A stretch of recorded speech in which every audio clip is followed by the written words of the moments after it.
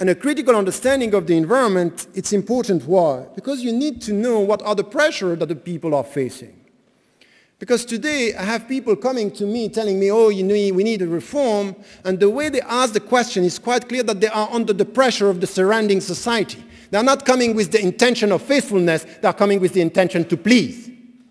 To please power or dominant culture, the world. I say this is the way to be open-minded. So question your intention. What do you want? And this is something which is important. When you are in our situation, in the Muslim majority countries as well as in the West, you cannot just come and say, oh, it's a neutral question.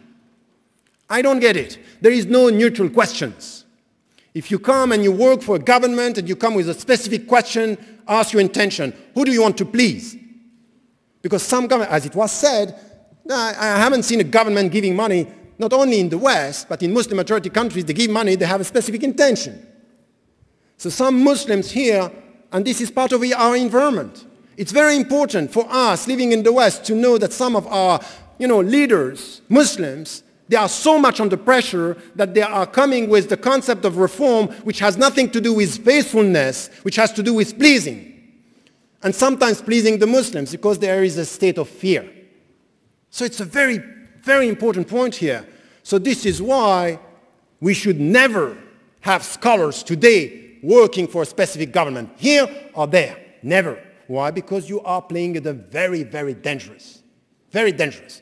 So what I'm saying here, by saying never, is once again, and I think that the point was very important here, question the intention of the scholar because sometimes in a specific issue it's quite important to be close to the rulers to be able to be critical to be able to, to help them to be critical and to understand that. So, once again, not to be used by governments and not only in our societies, in the West, in Muslim majority countries, not to take into account this pressure coming from the environment could be very dangerous. This is why scholars or people coming from within, they should be very clear on knowing the text, knowing the environment, but the atmosphere the environment, the psychological dimension of the fatwa.